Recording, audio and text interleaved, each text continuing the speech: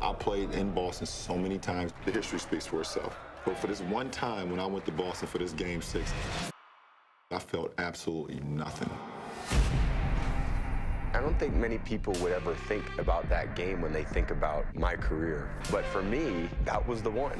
When the pressure is higher, when more is on the line, it's even more important that you perform.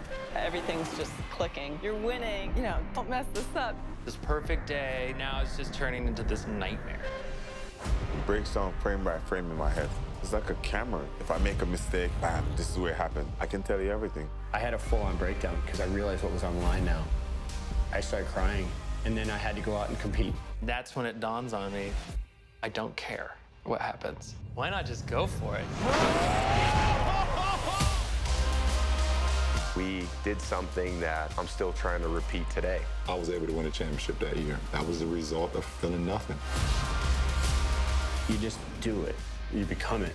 I can feel my momentum picking up. Ah, this looks good. You're in rhythm with each other, like you have the same pulse. They're calling you the greatest athlete in the world. You think about this whole lifetime, all building to this moment. I couldn't believe it was happening. I wish I can bottle nothing up, I tell you that.